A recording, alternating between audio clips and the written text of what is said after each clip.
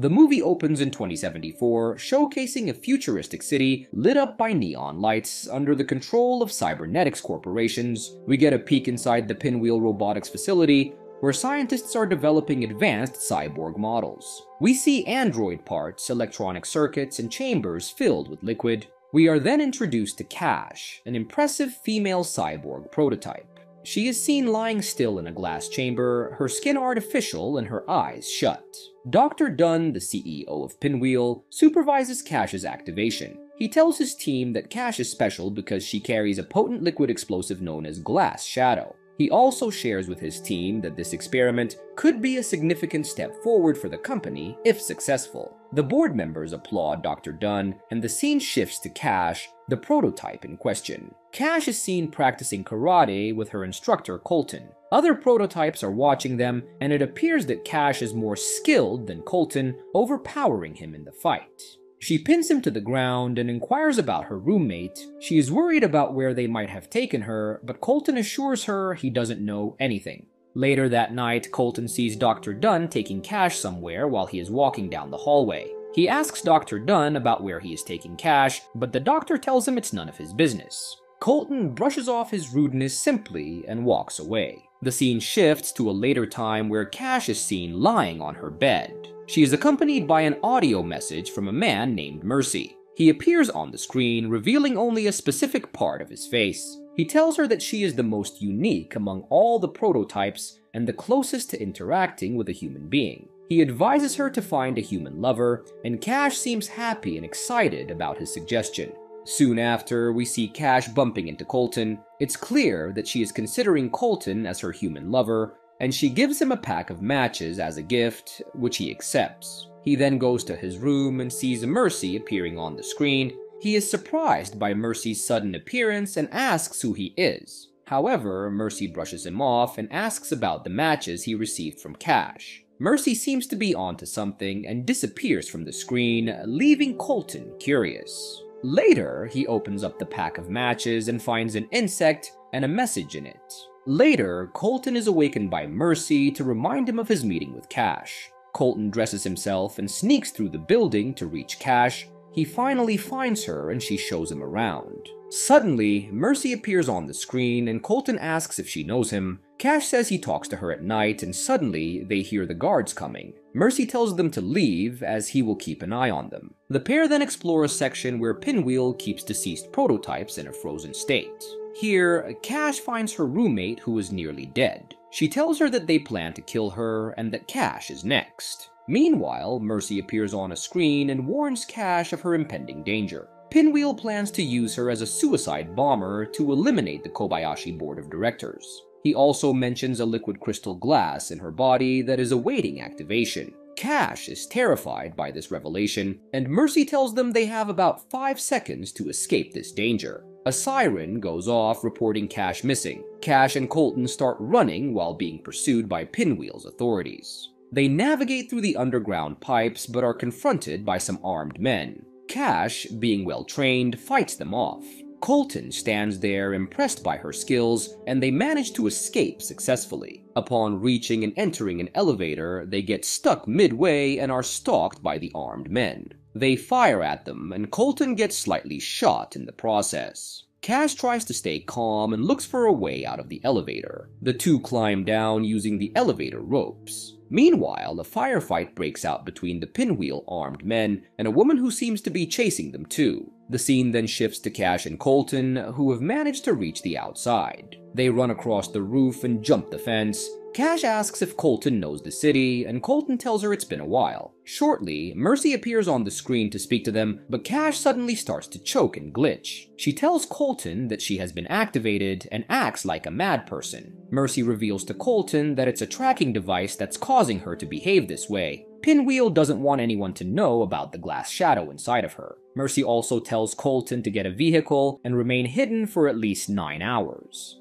Back at the Pinwheel Institution, Dr. Dunn is terrified of Cash's disappearance. He enters his office and meets with a woman who was chasing Cash and Colton. This woman, named Chen, is also a prototype, but a more advanced one. She is after Cash to reprogram her for her own purposes. Dr. Dunn tells her not to worry about Pinwheel and to proceed with the mission to kill Colton and bring Cash under their control. Dr. Dunn then meets with the board and announces that Cash is the first cyborg to escape using human reasoning. However, the board dismisses his claim and holds him responsible if the Glass Shadow project fails. The doctor then suggests hiring a man familiar with cyborgs to capture Cash and Colton. He mentions a man named Master Daniel Bench. The scene then shifts to Master Daniel, who is seen caring for his prosthetic face. He receives a call from the doctor and agrees when he hears the amount of money they will pay him. The scene then cuts to the city where Cash and Colton arrive in their vehicle. Cash decides to go out alone to avoid both of them being captured. She visits a fortune teller to inquire about her lifespan.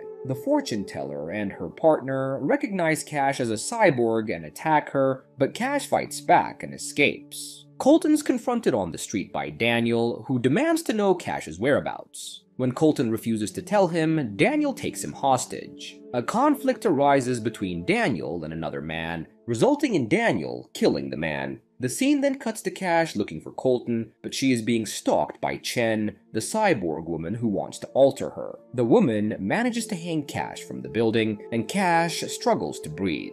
Chen hurts Cash, throwing her from one building to another. Elsewhere, we see Daniel keeping Colton hostage and in cuffs. Daniel is a kind of man that uses drugs and a spooky man that cares too much about his skin. Daniel is inquiring about Cash's whereabouts, and when Colton says he doesn't know, Master Daniel shoots him with some chemical into his eyes. Colton asks what has been done, and Daniel says it's the third eye that lets you see further than reality. He reveals it's a crystal-based liquid that will reach his corpus callosum slowly, and eventually will put him in a desperate place. Colton now is in pain and slowly feeling drained. The scene changes to Cash where she is lying down unconscious and being operated on by Chen. She is awakened by an order from Chen, and Cash is now being reprogrammed. Chen tells her there is an explosive inside of her that is waiting to be activated, and she even activates it for a few seconds, but Cash begs her, saying she would do anything to make it stop, and Chen disarms the crystal explosives and let her loose. The story transitions back to Daniel and Colt. Daniel appears to be asleep, and Colt seizes this opportunity to free himself with the keys to his cuffs. He plans to find Cash, but to his surprise, Daniel is not actually asleep. He was merely waiting for Colt to lead him to Cash. Cash, in the meantime, has gone to the museum. She's fascinated by the exhibits when suddenly Colt appears. She rushes to embrace him, they begin to talk, and Colt explains the harsh realities of the world. Cash is horrified by the potential for human cruelty, but Colt reassures her that there is also goodness in the world. Their comforting conversation gradually evolves into a passionate kiss. However, their intimate moment is interrupted by Chen, who attempts to kill Colt. Daniel arrives just in time, and a fight ensues between him and Chen. It becomes apparent that the two have a history of conflict. Chen shoots a mirror, causing shards to damage Daniel's prosthetic face, which angers him. Colt and Cash seize the opportunity to escape, but Chen pursues them. Cash confronts Chen while Daniel, in a fit of rage, fires his weapon indiscriminately. Colt assists Cash in her fight against Chen. Cash manages to kill Chen by electrocuting her, and the pair escape before Daniel can reach them. They enter an underground tunnel and encounter a man. Cash informs him that they were sent by Mercy, and the man allows them to enter. The place appears deserted, but it is actually a community organized by Mercy. Mercy communicates with them through a screen, informing them that they will escape to Mombasa by renting a boat. However, Colt is hesitant, fearing legal repercussions. Elsewhere, Daniel is seen driving recklessly. He has completely lost control, consuming numerous drugs and vowing to kill Colt and Cash,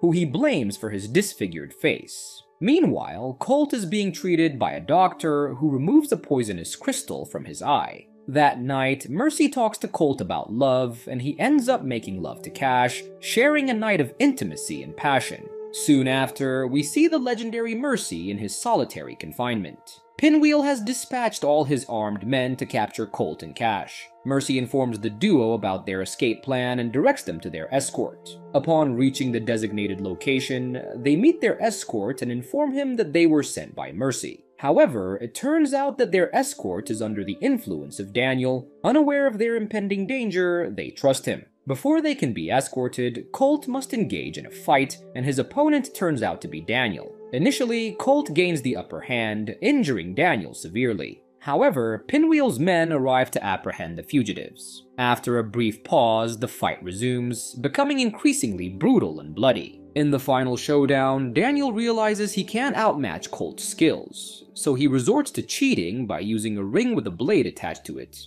He repeatedly punches Colt, causing severe injuries. Cash wants to intervene, but is warned by the escort that she could disqualify Colt. She hesitates, but then Colt manages to seize Daniel's armed hand and forces it into a ventilator. The weight of Daniel's body causes him to be decapitated by the ventilator. Colt successfully defeats his opponent. Soon after, armed men from Pinwheel arrive, causing chaos. Colt and Cash manage to escape, taking down several men in the process, however, they are eventually outnumbered. Despite their dire situation, Cash defiantly points a rifle at their pursuers. Just when they are about to surrender, a screen drops down from one of the vehicles revealing Mercy. He congratulates the duo and warns the Pinwheel men of an incoming bomb. The bomb goes off, causing disruption among the armed men. Mercy then appears and starts shooting, easily taking down most of the men. In the meantime, Cash and Colt escape while the remaining Pinwheel men capture Mercy and take him to their headquarters. There, Dr. Dunn, who is playing golf,